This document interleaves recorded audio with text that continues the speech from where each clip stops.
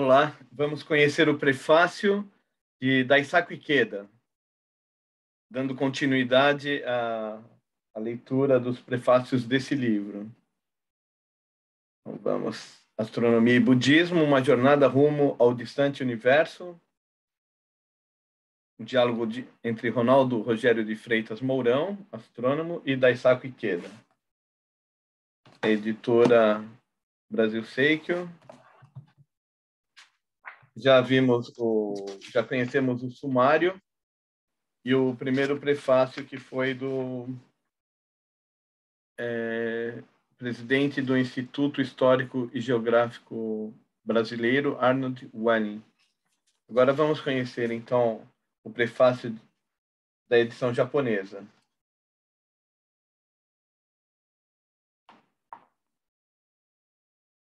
Hum. Prefácio da edição japonesa, ano de 1600 Ano de 1609, cidade italiana de Pádua. Dia após dia, um homem mantinha seus olhos fixos em um telescópio. Um tubo de chumbo com lentes adaptadas nas extremidades, feito por ele mesmo, olhando incansavelmente as estrelas que cintilavam no céu noturno vislumbrando pelo panorama vis, vislumbrado pelo panorama nunca antes visto. Seu rosto irradiava admiração, espanto e alegria. Havia relevos na superfície da Lua e satélites em volta de Júpiter. Eram imagens reais e surpreendentes do distante universo. Esse homem, Galileu Galilei, abriu uma nova porta na história do diálogo entre o ser humano e o universo. A partir de então, passaram-se exatamente 400 anos.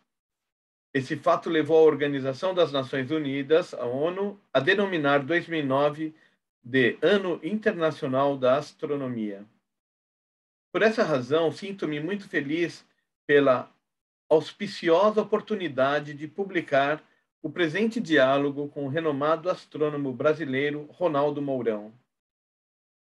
O panorama do universo traçado pela moderna astronomia evoluiu-se muito a partir de Galileu.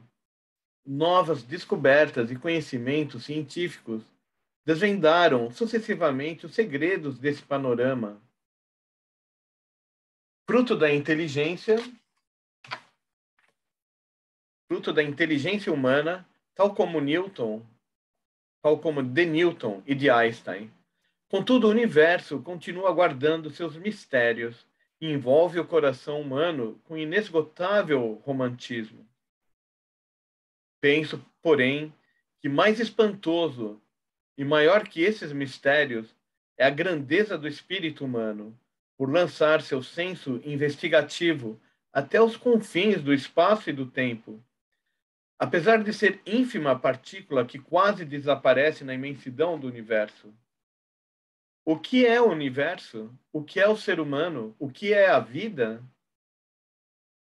No nosso diálogo em torno dessas perguntas, que questionam os homens, provavelmente desde os primórdios de sua história, o Dr. Mourão mostrou-se um gigante intelectual e franco interlocutor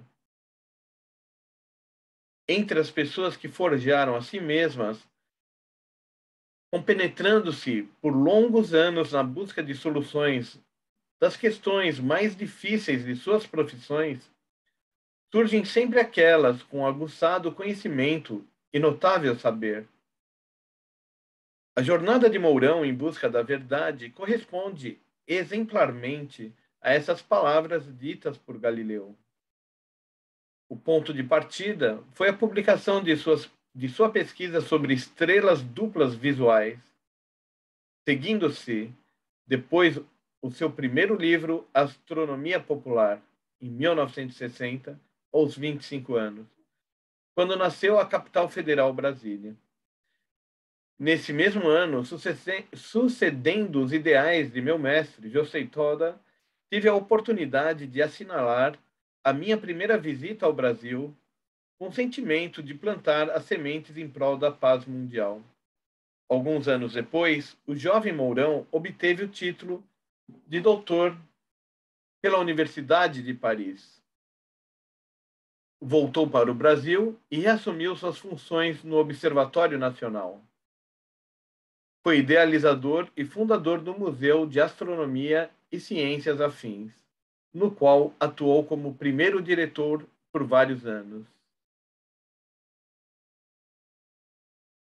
O Dr. Mourão é também o primeiro brasileiro a ter um asteroide com seu nome.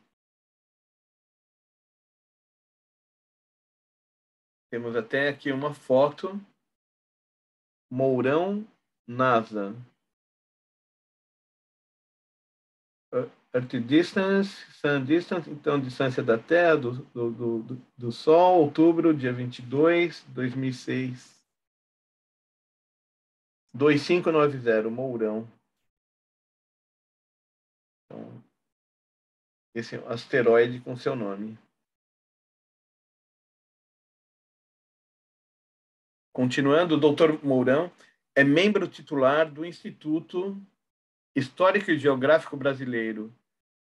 E a edição especial do Almanac Abril, publicado em 1991, incluiu o nome dele entre as 130 personalidades que fizeram a história do Brasil nos últimos 60 anos.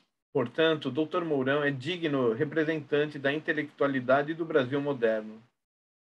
Encontrei-o pela primeira vez em maio de 2005, em Tóquio, em um clima agradável de folhas verdejantes. Ele tinha acabado de receber o aniversário de 70 anos, Sob os cabelos prateados, seus olhos viva vivazes refletiam a sábia observação do universo, na qual se compenetrava, se compenetrara por muitos anos. Ele fez uma longa viagem vindo do Brasil para o Japão a fim de homenagear-me com os títulos de sócio honorário estrangeiro do Instituto Histórico e Geográfico Brasileiro e de sócio efetivo perpétuo da Academia Brasileira de filosofia.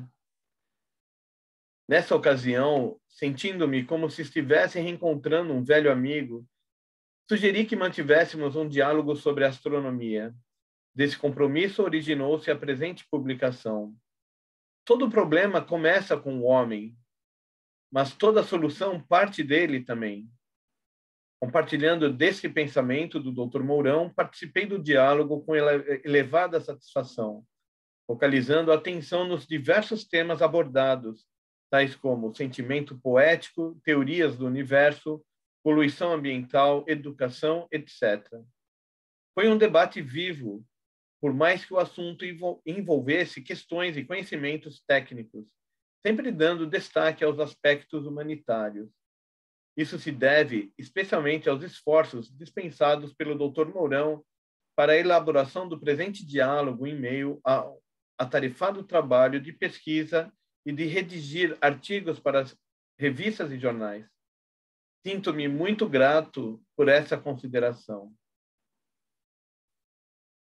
Os autores, de um lado pesquisador do universo e de outro pesquisador da vida, pareciam caminhar em direções opostas à primeira vista. No entanto, em uma dimensão mais profunda, avançaram na verdade em busca de um mesmo objetivo.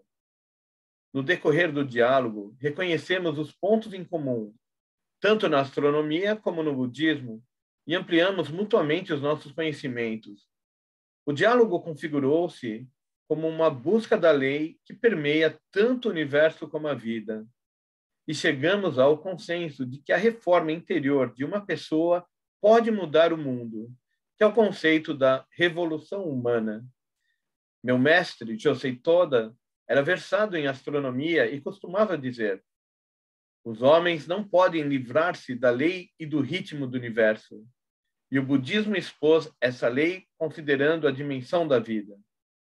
Quando compreendermos a relação universo-vida, tornamos-nos unos com o universo e tomamos consciência de que eu sou o próprio universo. Por meio desse diálogo, fortaleci ainda mais a minha convicção no discernimento de meu mestre. o coração é tão grandioso quanto a imensidão do universo. Esta pode ser considerada como uma das conclusões deste livro.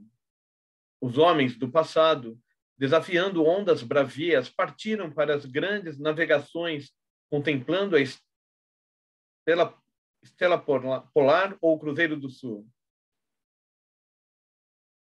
Como pontos e referências para se orientarem pelo mar. Da mesma forma, esperamos que esse diálogo possa servir também como uma estrela de referência para as pessoas que singram rumo à construção de um mundo melhor. Por fim, juntamente com o Dr. Mourão, quero dedicar aos jovens que vão conduzir o futuro, que vão conduzir o futuro, os versos do poeta alemão Schiller, cujo nome figura em um dos asteroides. Tal como os sóis bailam pela imensidão do espaço celestial, que meus irmãos avancem alegremente e visem a triunfante vitória como dignos heróis. Em 16 de março de 2009, Daisaku Ikeda. Então, com isso, concluo aqui o prefácio de Daisaqueda e no próximo vídeo nós vamos ainda conhecer a apresentação feita por Ronaldo Mourão. Até o próximo vídeo.